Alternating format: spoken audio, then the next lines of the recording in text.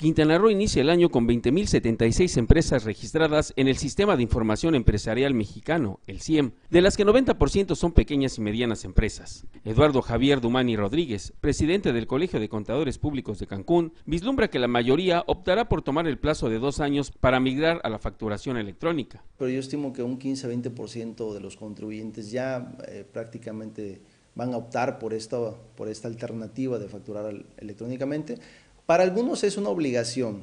Cuando facturas arriba de 4 millones, pues ya es una obligación.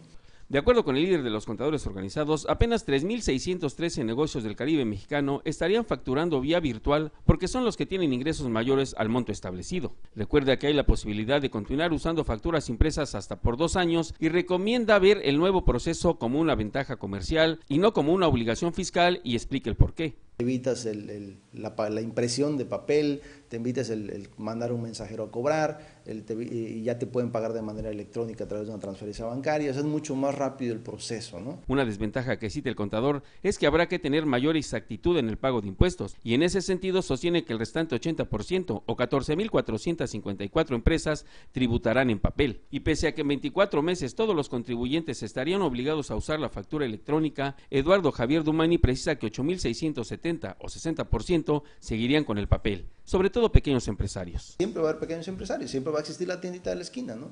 Y esa, creo, va a ser muy difícil que pueda facturar de manera electrónica, ¿no? Eso, eso va a ser imposible. Entonces van a seguir manejando sus notas de ventas, eh, su facturación en papel. Detrás de la cámara, Jonathan Díaz, en el micrófono. Para Notivisión, Carlos Águila Arreola.